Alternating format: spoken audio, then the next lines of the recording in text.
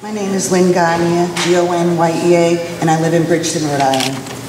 So a Chicago, Chicago-based company wants to build a huge power plant that is not needed in a small rural town in the northwest corner in the smallest state of the United States.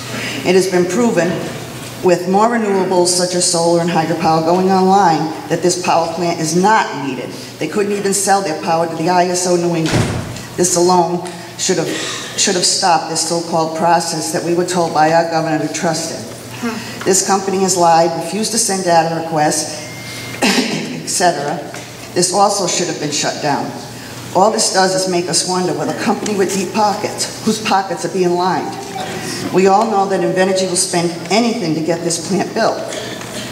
RIDOT, how can they okay over a thousand tanker trucks carrying water, ammonia, diesel fuel, and more drive through these small town roads be safe? But yes, Invenergy says they're all state roads, so what?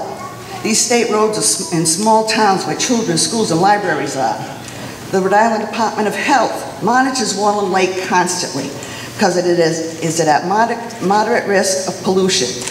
Wallum Lake is Zambarano's hospital's sole water source. If Wallum Lake gets tainted, it will be shut down. The hospital and all the union jobs that are at the hospital, which half our town works at.